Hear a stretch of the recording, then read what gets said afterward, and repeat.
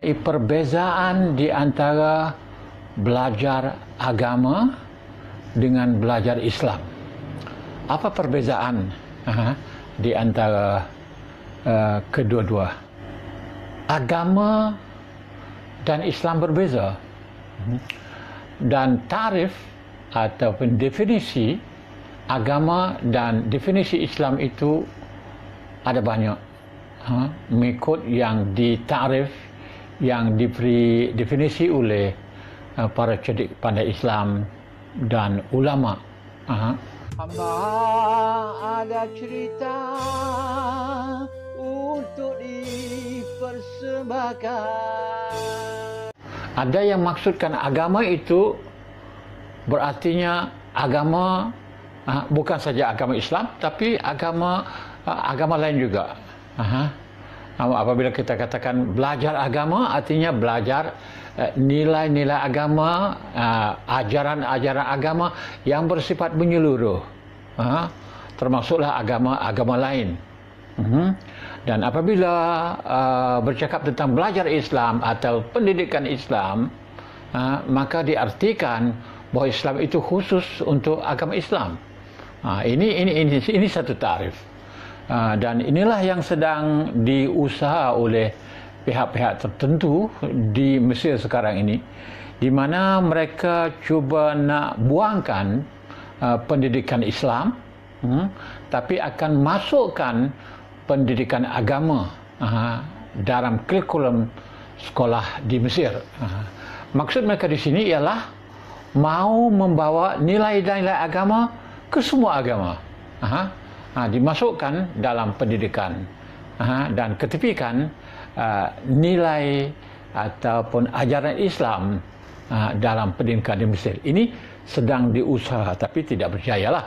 Uh, sedang berusaha. Itu salah satu uh, pengertian ataupun definisi agama uh, yang berbeza dari Islam iaitu agama itu bagi definisi atau tarif setengah uh, syirik pandai uh, mengatakan agama itu maksudnya menyeluruh termasuk agama-agama lain. Dan Islam itu adalah khusus bagi agama Islam saja. Dan ada pula tafsir yang berbeza ataupun definisi yang berbeza iaitu tarif yang berbeza yang uh, mengatakan agama itu adalah hanya merupakan kalau dalam konteks Islam adalah merupakan kalau sebut kata agama tarifnya ialah pembelajaran tentang akidah pembelajaran tentang agama dan perkara-perkara berkaitan dengan hukum hakam agama Ha, itu itu artinya belajar agama ataupun pendidikan agama, at-ta'lim ad-dini atau at-tarbiyah ad-diniyah. Yang ini khusus bagi yang mempelajari tentang akidah. Ha, akidah. Dan belajar tentang ibadat. Dan belajar hukum-hukum tertentu berkaitan dengan agama. Hmm? berkaitan dengan bidang agama saja. Sedangkan Islam pula sedangkan Islam pula artinya segala-galanya mencakupi hal agama perkara-perkara berkaitan agama dan perkara-perkara yang berkaitan dengan dunia. Ha, ini yang saya pilih yang saya pilih definisi ini definisi atau tarif yang memberi uh, uh, pen, yang apa yang mengatakan bahawa agama itu adalah soal akidah, soal ibadah dan hukum hakam berkaitan dengan agama dan akidah ini itu dipanggil pembelajaran agama. Tapi kalau pembelajaran Islam itu adalah perkara yang menyeluruh. Ha, sebab soal agama hanya sedikit saja. Ha, tapi ada soal-soal lain yang berkaitan uh, tentang dunia. Uh, sebab dalam Islam tu kalau kita buka Al-Quran, buka hadis, yang kita akan bertemu bukan hukum. Uh, hukum apatah lagi hukum yang berkaitan dengan agama adalah amat sedikit. Hmm, amat sedikit sekali. Uh, katanya ayat daripada ayat 6000 lebih ayat tu kita katakan ada ada yang mengatakan bahawa ada 50 ayat al-ahkam, ayat-ayat hukum. Yang kebanyakan hukum agama ada pula kata ada 200 ada kata uh, uh, 150 ha. ini terserah kepada penilaian uh, ulama dan suri pandai yang meng, uh, mencari ayat-ayat Quran yang berupa hukum. Hmm, ya kalau kita nak bincang tentang perkara ini panjanglah saya tak akan masuk seperti ini okey ha? Jadi ayat uh, yang membincang tentang hukum hukum agama itu amat sedikit. Hmm. tetapi uh, secara keseluruhannya ayat Quran uh, kita akan dapati bahawa uh, ia membincang tentang nilai uh, nilai uh, uh, tentang qiyam uh, qiyam ini uh, bukan hukum agama lah. Tentang uh, tentang buat baik tentang untuk nak membangun tentang nak menjadi maju tentang nak bagaimana untuknya menyelesaikan masalah uh, dalam masyarakat. Uh, ini, ini semua adalah nilai. Hmm, nilai. Itu terkandung uh, salah satu komponen yang paling banyak uh, di dalam Al-Quran.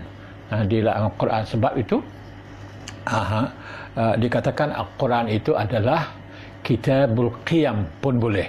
Uh, kitabul qiyam pun boleh iaitu kitab yang uh, mengandungi nilai-nilai yang begitu banyak.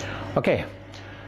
Uh, apabila saya sebut bahawa hmm, saya memilih ta'arif ataupun definisi yang mengatakan uh, agama uh, belajar agama itu iaitu belajar akidah belajar ibadat belajar tentang tasawuf belajar tentang lain-lain perkara yang digolongkan daripada kategori agama iaitu perkara-perkara yang berkaitan dengan agama.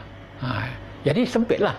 Ha, tidak luas. Ha, tetapi kalau kita belajar Islam, ha, kalau kita belajar Islam, kita akan belajar agama dan berkaitan dengan agama, perkara berkaitan dengan agama dan semua perkara yang berkaitan dengan dunia. Ha, itu adalah ha, bidang uh, pembelajaran Islam. Ya, kalau kena nak kepada dunia, kamu kena kena ada ilmu. Kalau nak kepada uh, akhirat kena ada ilmu kalau kalau nak kedua-dua sekalipun pasti ada ilmu uh, artinya ini cakap tentang ilmu. Dan ilmu ini adalah satu salah satu daripada komponen Islam. Sebab Islam kalau kita buka Al-Quran kita akan berjumpa dengan Iqra. Iqra ni Iqra ni adalah uh, merupakan ayat pertama yang menyuruh kita supaya membaca.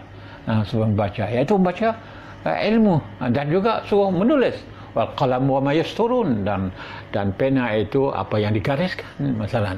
Ha, ini semua adalah berkaitan Islam adalah berkaitan dengan al-ilmu. Kalau kita uh, lihat kepada uh, apa yang kita uh, pendidikan uh, orang Islam khususnya sekarang ini, kita akan lihat uh, mereka tumpu kepada soal agama semata-mata. Mari kita pergi belajar agama ha, mereka tak minta supaya tak panggil, jarang nak panggil. Mari kita pergi belajar Islam ya, ini menyebabkan kita bahawa uh, apabila kita menumpu kepada agama semata-mata artinya uh, uh, dunia ini bukan untuk kita. Kita akan jadi faham. Kita hanya akan menumpu kepada akhirat semata-mata. Dan ini adalah satu fahaman yang kurang tepat sebab dunia ini adalah mazra mazra'atul akhirah dunia ini adalah merupakan ladang akhirat. Sekiranya kamu tidak dapat uh, bercocok tanam di ladang di dunia ini maka di akhirat esok pun kita bukan akan uh, uh, apa uh, boleh uh, apa-apa yang uh, akan diberi dengan uh, oleh Tuhan kepada kita dengan sempurna. Sebab kalau kita pergi dengan ibadat aja uh, bukan lengkap sebab uh, kita kena bawa semua kena amalan apa pun kita sebut amal itu artinya amal tentang ibadat dan amal tentang pembangunan dunia ini uh, kalau kita bisa boleh membangun di dunia ini sekaligus uh, dengan uh, uh, ibadat uh, sekaligus dan dengan uh, pembangunan sekaligus imarat dunia sekaligus maka insyaallah kita boleh uh, masuk kepada akhirat dengan secara mudah. Sebab sebenarnya ibadat, hmm, ibadat kita buat ibadat sebenarnya pun walaupun ibadat itu adalah kepada Tuhan, aha, kepada Tuhan, tapi ibadat itu sebenarnya untuk kita. Kerana Tuhan Tuhan adalah ghaniyyu 'anil 'alamin. Tuhan adalah uh, tidak berkehendak kepada kita semua. Dia yang suruh kita ibadat supaya kita menjadi disiplin, supaya kita boleh uh, uh, buat bekerja di dunia ini tumpu kepada uh, uh, kerja-kerja yang baik.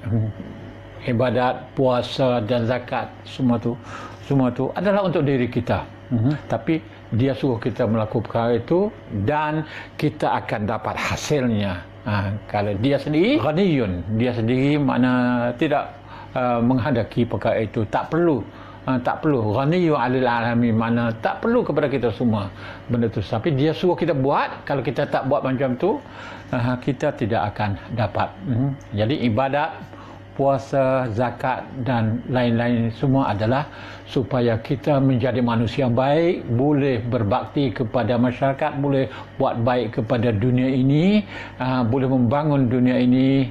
Uh, itu itu itu itu motif uh, ibadat.